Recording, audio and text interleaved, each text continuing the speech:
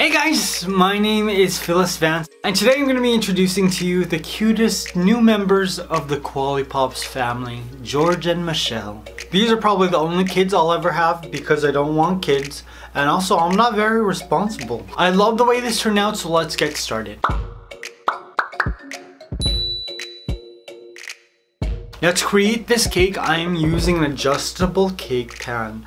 It's silicone, you link a whole bunch of strips together, look at that, link it like this, and you make a loop too. and this is the walls of your cake, so you can make basically any shape, any cake design you want, you can make it with this. This is definitely one of my baking staples, so let's get to the cake decorating. So I baked an oval shaped cake and the reason I baked an oval shaped cake is because it's gonna be the blanket that covers the body. That way I actually don't have to carve any features. Just the head, no legs, no limbs, no belly button, no hands, nothing. I'm just gonna cover everything in a blanket. I decided to make two babies so that I could test out how many layers of cake I would need for this. So for the chocolate cake I created, I sliced out three equal layers. But as you can see the top, the top layer is only about two thirds of a layer because I'm using a dome cake to create the head and I'm gonna fit the head right there. Ooh, now we got some buttercream in the middle and I'm using regular vanilla buttercream as well as some leftover cream cheese buttercream because yo, I know it's gonna taste good. Cream cheese buttercream is just, it's like better in every situation, I think. Now I'm adding my third layer, but because I was carving a lot, it ended up being really thin. So two layers is probably just good enough. Now I have to crumb coat my entire cake.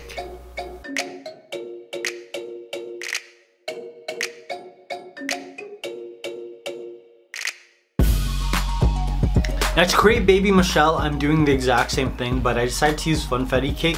Those are like the only two types of cake I make. Chocolate or Funfetti. You're looking for some red velvet, you need to go somewhere else. I mostly just focus on the cake decorating ideas and so I use box cakes. Now for this cake, instead of doing three layers, I'm doing two. And so the second layer, I cut out two thirds of it so I can fit in the face later on. And for the icing, again, I'm using vanilla buttercream and then on the inside I'm using some cream cheese. Now I'm gonna give my entire second cake a crumb coat, then I'm gonna start to work on the hat.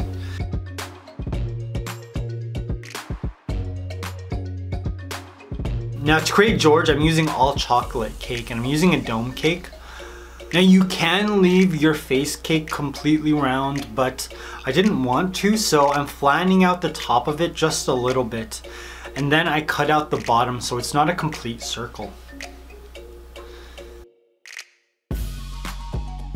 George looks like a very happy boy. I feel like he would be a chocolate eating boy, so that's why I made him chocolate on the inside. Now Michelle doesn't like chocolate at all. She loves funfetti. And on the inside, she's made of funfetti. I think it was better to use funfetti as opposed to chocolate because you can see more of the detail that I'm creating when it comes to the face and the body. The chocolate, it's so dark that it gets lost. Probably because I put so much chocolate syrup. That's why this chocolate cake is so dark. But with Michelle, you can totally see all of the detail I'm creating when I'm flattening it out and how much of the bottom of the circle I took out to create her face. Now to create George, I'm covering him with some skin tone fondant to begin with. And because of the design of this cake, I only have to cover the face. You probably have noticed this already, I don't use a knife to create the edges, I just push the fondant underneath the cake with some fondant tools.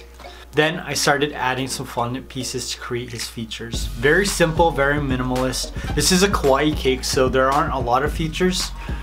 Just two basic black eyes with catch lights and a happy mouth. Oh, how happy that is.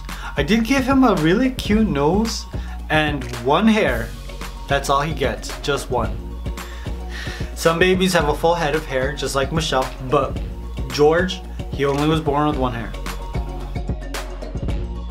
I did add a little bit of detail in his eyes, just a little bit of blue. I thought that'd be really cute. Oh, this baby boy looks so happy. Now to create Michelle, I'm using another piece of skin tone fondant. I'm just repeating that process, working it down the sides of my cake and then cutting away the excess by pushing underneath the cake with some fondant tools. Do you guys do this? I, I know a lot of people just cut away the fondant, but instead of the straight edges, you kind of get rounded edges and so the whole cake looks more realistic because it's not just flat on the cake board. That's what I love about that. We're adding the same details, two eyes, a very happy smile. Look at that. No teeth because she's a newborn. How terrible would that be if newborns all had a full grill?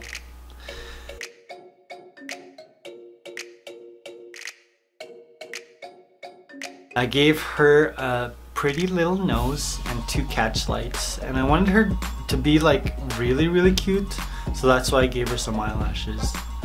Adorable right? Michelle and George are very different. She was born with a full head of hair. So I'm adding black fondant just to give her some really nice cute curls.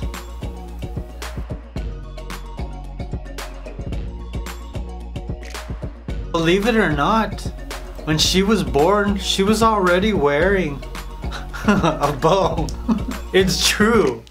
She was born with a bow guys. Don't question the doctors, don't question anybody. She was born with a bow. And I decided to give her a little bit of highlights with some green eyes. Both of these cakes are gonna go through the exact same process and we're just gonna cover the bodies with what looks like a baby blanket. So I placed George on top. Look at that. Oh my god, we made a baby, you guys. Well, not literally, but kind of. So I put George's head and then first thing I'm gonna do is wrap a long piece of blue fondant to cover his head. Isn't that adorable? How, oh god. I'm, I'm having a good time just watching the footage of this. It looks cute. This is cute. So we wrap that, we cut away the excess. I'm adding a little bit of skin tone fondant to be like his chest area because he got a little bit peeking through. And then I added the left side of my baby blanket. Simple, simple, simple. No creating any features. You're just looking like it's a newborn wrapped in a baby blanket. Now we put on the right. See that? You got a little of the skin peeking through, but then the rest of it's just covered. You know, just wrap them tightly. That's what they like, right? That's what babies like because it feels like they're back in the womb. That's all the baby knowledge I have and that's all the baby knowledge I want to know. Baby George is done. Let's move on to Michelle. So we're going to add on Michelle's face. And we're going to do the exact same thing. Um, but this time we're using pink fondant. First wrapping a long strip around her hair. Pushing it down, pushing it down. Look at that. Oh my god. This is such an adorable idea. I can't believe I thought of this. Yes.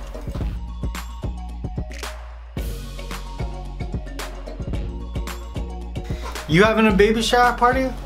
You need this cake. Now we got the little chest piece.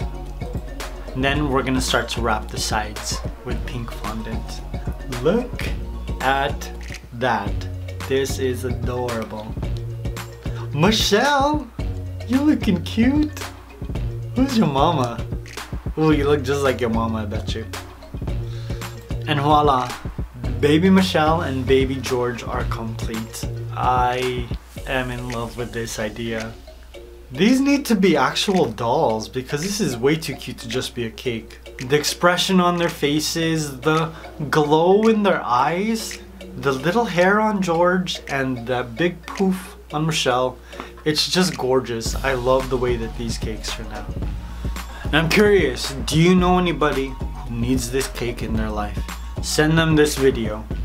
I, I feel like everybody needs this cake in their life. How much, if you were a cake decorator and somebody asked you to make this cake, how much would you charge? Somebody asked me to make it, I would say, no.